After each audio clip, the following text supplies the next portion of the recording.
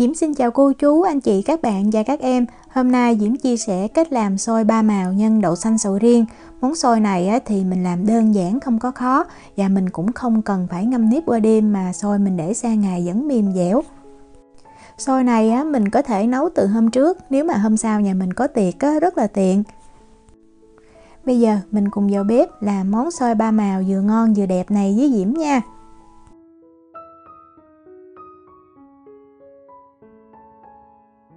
Mình sẽ đi làm cái phần nhân đậu xanh sầu riêng trước thì ở đây Diễm có đậu xanh đã nấu chín.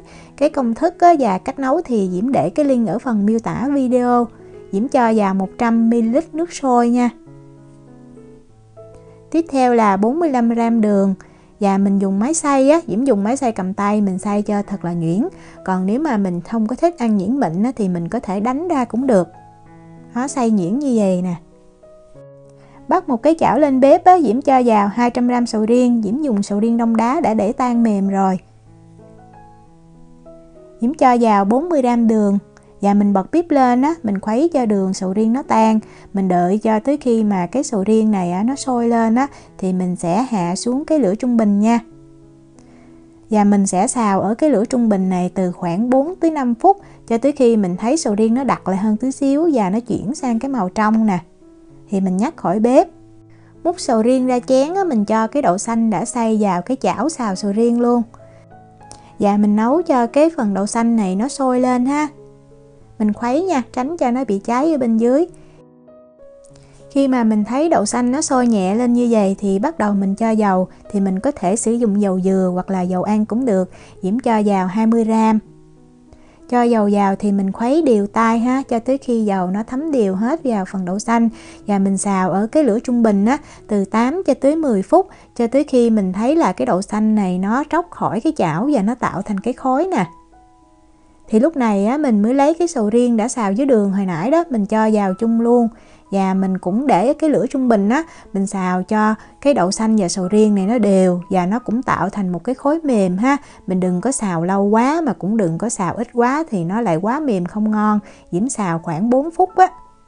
Để chính xác hơn thì mình có thể cân ha thì cái lượng nhân này diễm xào xong diễm cân được 560 gram.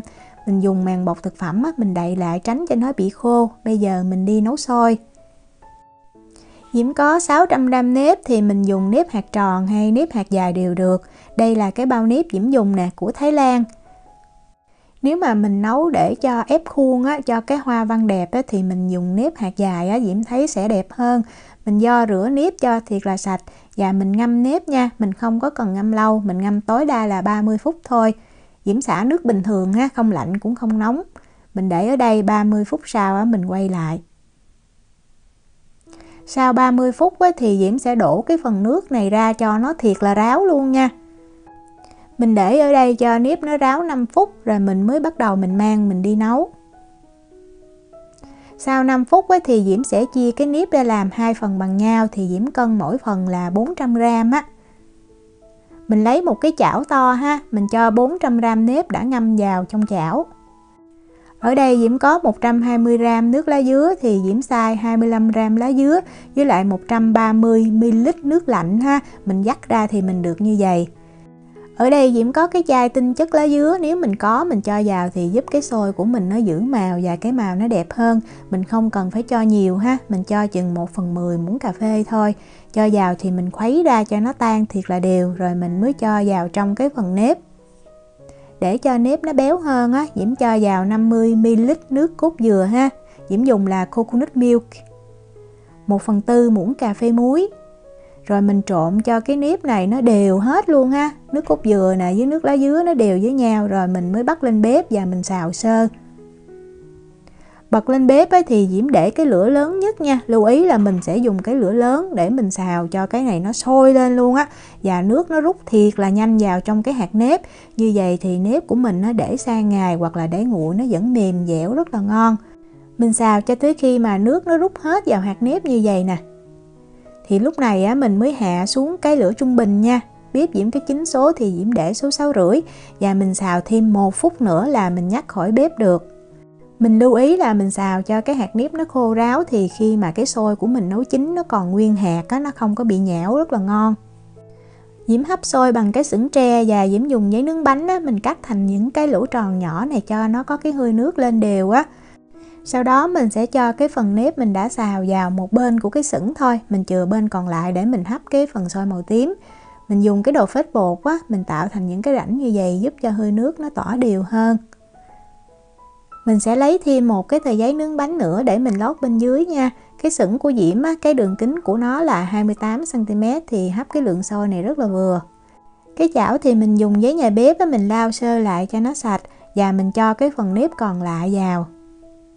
Để tạo màu tím á, mình có thể dùng nước lá cẩm, còn Diễm không có thì Diễm có 120 gram nước ha và Diễm có cái chai tinh chất khoai môn này nè, Diễm mua ở trong tiệm Việt bên đây thôi.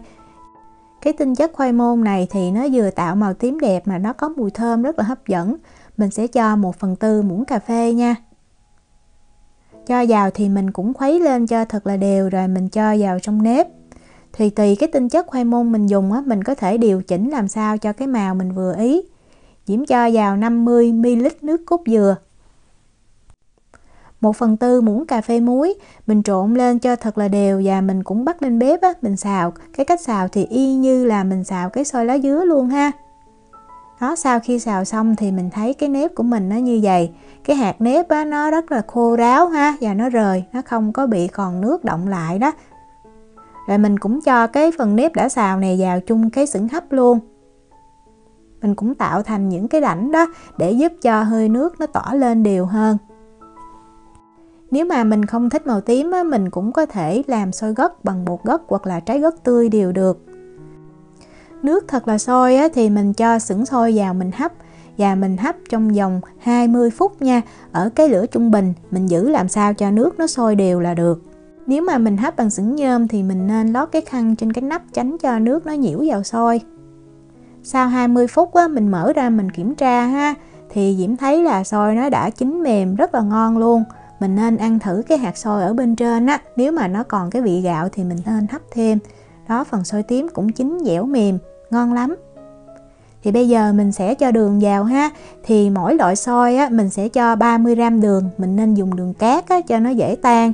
Và mình nên chia ra làm hai lần ha. 30 gram đường thì nó tương đương với lại hai cái muỗng canh á mình cho vào mình trộn lên cho thật là đều rồi mình cho cái phần đường còn lại. Mình đừng có cho vào cùng một lúc á, thì nó khó trộn đều hơn. Sau màu tím á, mình cũng cho 30g đường cát luôn. Cẩn thận nha, tại vì cái hơi nước nó lên rất là nóng luôn á, dễ bị phỏng tay Trộn đường đều rồi thì mình đậy nắp lại và mình hấp thêm 5 phút nữa ở cái lửa trung bình á, là xôi của mình chín ngon. Sôi chín rồi thì mình sẽ mang mình đi đóng khuôn liền luôn và mình lưu ý là mình đậy nắp mình giữ cho sôi nó nóng ha. Thì đóng khuôn á tùy cái loại khuôn mình có thì ở đây Diễm có cái khuôn bánh trung thu này nó là 250 gram. Mình cũng có thể đóng thành một cái khuôn lớn á, khuôn chữ nhật hay là khuôn tròn đều được. Cái kích thước thì Diễm có ghi ở phần miêu tả video.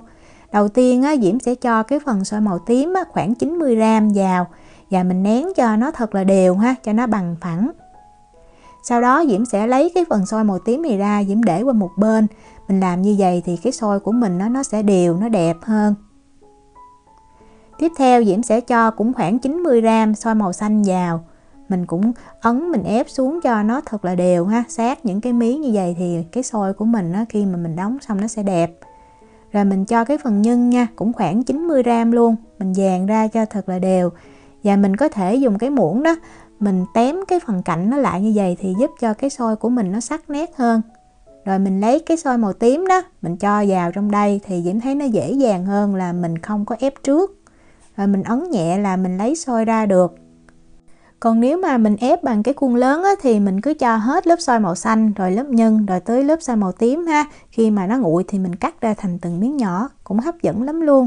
Dưới cái lượng xôi này á, thì Diễm làm được 6 cái ha cái khuôn là 250 gram để bảo quản á, thì mình có thể bọc lại bằng màng bọc thực phẩm như vậy nè để sang ngày ngon lắm không bị khô và mình nên đợi sôi nguội rồi mình hãy bọc lại sôi ngon là hạt sôi dẻo ha còn nguyên hạt rất là thơm và cái phần nhân á, có sầu riêng hấp dẫn lắm Diễm chúc cô chú, anh chị, các bạn và các em có được xôi thật là đẹp và ngon.